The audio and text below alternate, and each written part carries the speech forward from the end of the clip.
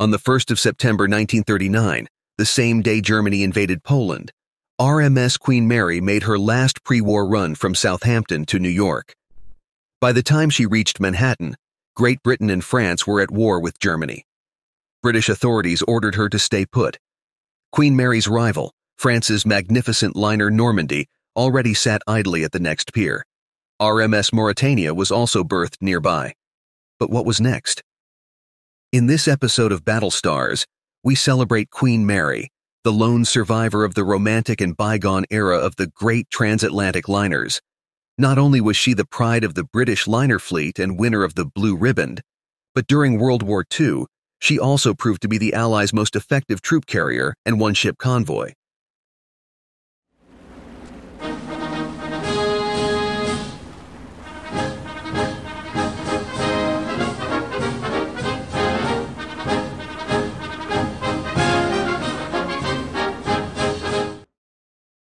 Queen Mary had a difficult birth. Cunard Line laid down the future ocean liner in Scotland in 1930, but after a year of steady progress, the Great Depression brought construction to a halt. In exchange for the funding needed to finish its greatest project, Cunard agreed to the government's demand that it absorb the failed White Star Line. RMS Queen Mary was finally launched in 1934. 10 million rivets later, in early 1936, she was completed. And by August of that year, on her sixth round trip to New York, she set new speed records in both directions to take the blue ribbon from Normandie. Fast forward to early 1940 in Manhattan. Queen Mary and Normandie had spent the winter in limbo, but everything changed quickly starting in February. First, tragically, a fire destroyed Normandie. Next, in March, to the surprise of almost everyone, the brand new and untested RMS Queen Elizabeth appeared in New York. Built to be Queen Mary's running mate, she arrived not only unannounced, but also painted entirely in navy gray. Queen Mary was likewise requisitioned by the British government and her familiar black, white, and red livery repainted, and the Grey Ghost was born. Queen Mary sailed to Australia, where she and several other liners were converted into troop transports. All stateroom furniture, the ship's lavish decorations, and six miles of carpet were removed. In the end, 220 cases of dinnerware, crystal, silver, tapestries, and paintings were removed and warehoused for the duration on three different continents. A six inch gun, triple tiered fixed wooden bunks, and other military gear, such as a degaussing coil, were added. Leather coverings were installed to protect the woodwork, Grand Admiral Raeder said Hitler failed to grasp the hard facts about British sea power.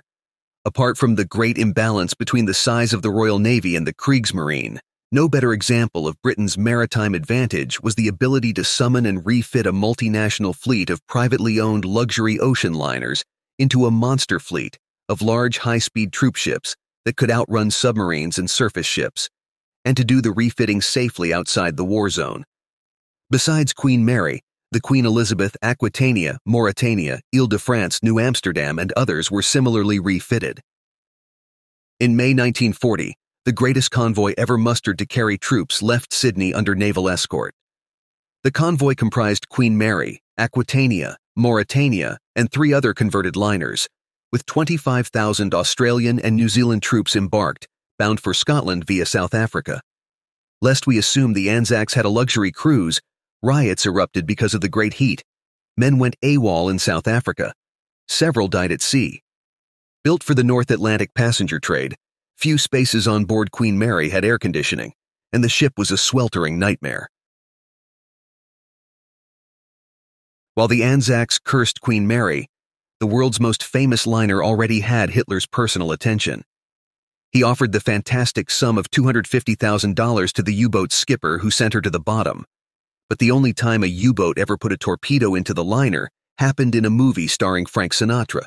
In Assault on a Queen, released in 1966 when Queen Mary's career was winding down, Frank plays a former U.S. submarine officer who joins an eccentric band of wannabe pirates who raise and rehabilitate a sunken U boat for the purpose of robbing the Queen Mary. After persuading the liner to stop, their group's nominal leader, who is a former U boat officer, fires a dummy torpedo into the ship to intimidate her captain. Their plan comes a cropper, and the boat is rammed and sunk by a Coast Guard cutter. But Frank, his love interest, and Frank's wingman land in a rubber raft. As the gracious queen sails away, with her horn blowing and making smoke, the trio start paddling for South America. Queen Mary proved impossible to hit in real life. Unlike in the movie, when her captain was duped into stopping, during the war the ship's officers had orders not to stop for anything. The liner's high speed was not only legendary, but also her greatest protection. As a result, the Queen's four minor encounters with U boats are quickly summarized. First, in June 1940, guided by secret intelligence, a wolf pack of five boats centered on U 48 assembled off Cape Finisterre to intercept Queen Mary and other liners on their return from Australia. At risk were the 25,000 embarked Anzac troops mentioned earlier. Likely alerted to the danger by prior sinkings in the area and their own intelligence, Queen Mary veered out to sea, steering around danger. Next, on the 1st of October in 1942, the young skipper of U-407, a Type 7C on its first patrol, claimed he fired a spread of four torpedoes at the liner as she approached the Irish coast. Not surprisingly, her great speed while zigzagging was misjudged by the inexperienced commander. Whether Queen Mary was even aware of the attack is not clear. Possibly the most serious threat came in April 1944. Another Type 7 U 385, operating from Norway, fired a three torpedo salvo at what the boat's captain described as an Empress class liner, but was in fact Queen Mary. He went so far as to claim two hits and two boiler explosions. For her part, Queen Mary reported a heavy underwater explosion, suggesting a torpedo had detonated prematurely. Finally, another U boat on its first patrol, U 853, had weather watching duty during May and June 1944. The boat was trying to help German intelligence predict the timing of an Allied invasion of Europe.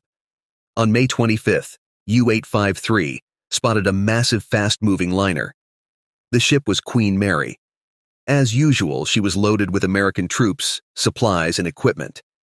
The U boat submerged, but before it could get into attack position, Queen Mary raced past, disappearing as quickly as she had appeared. Though Queen Mary had carried American troops to Australia in early 1942, by October of that year, she was operating full time in the North Atlantic to shuttle GIs to Great Britain. She sailed with as many as 15,000 troops. Typically, U.S. destroyers escorted the liner from the American coast into the open ocean. Then, leaving their American escorts behind, she zigzagged alone at high speed across the Atlantic. As she neared the British Isles, the Royal Navy escorted her to the Firth of Clyde in Scotland. Two oddities occurred that are worth noting.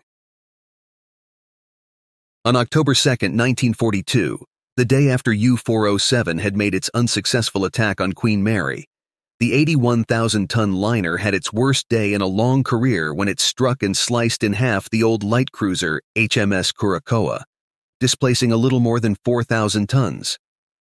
With some 15,000 Americans on board, including the entire 29th Infantry Division, the Queen plowed onward, now with a fractured stem.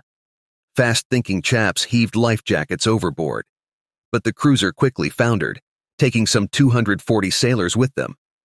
Destroyers rescued about 100 men. The controversy that followed, in part about the rescue effort but mostly about apportioning blame, lasted well into the post war period and ended with the Royal Navy and the liner sharing responsibility. Queen Mary was apportioned one third of the blame.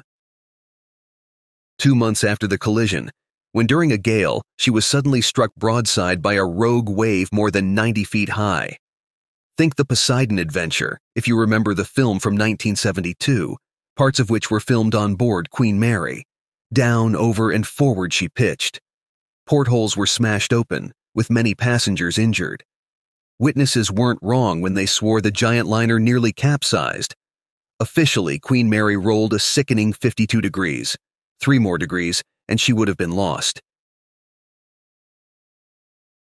Less eventful was a crossing during July 1943, when Queen Mary set a record by carrying nearly 17,000 soldiers and crew, many of whom had to sleep on deck.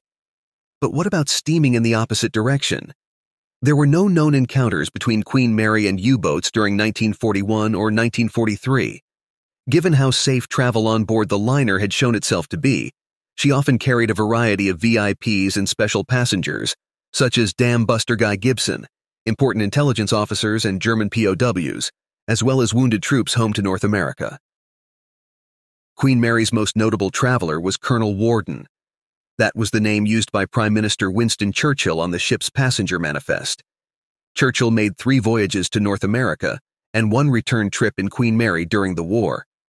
In May 1943, for the Trident Conference, Churchill and his senior advisors secretly departed in Queen Mary to confer with FDR and his service chiefs. At the time, Queen Mary had on board 5,000 German POWs, including U boat crew, who were confined to a lower deck under guard. For the Second Quebec Conference, in August 1943, Churchill again traveled in Queen Mary, but more slowly, as she was escorted by U.S. carrier Ranger and British carrier Illustrious, as well as three heavy cruisers, destroyers, and land based aircraft. He made a final wartime trip in 1944. Queen Mary made 72 wartime voyages between 1940 and 1946 during which she transported 800,000 troops. In the early trips, she carried fewer than 10,000 people. By 1942, she typically carried more than 10,000 and often 15,000 soldiers. Her last voyage carrying troops to Scotland took place in March 1945. After the war ended, she participated in Operation Magic Carpet, the effort to bring them all home again. Churchill himself said it best when he said the Queen Mary shortened the war by a year. Thanks for watching. Consider subscribing if you enjoyed this video.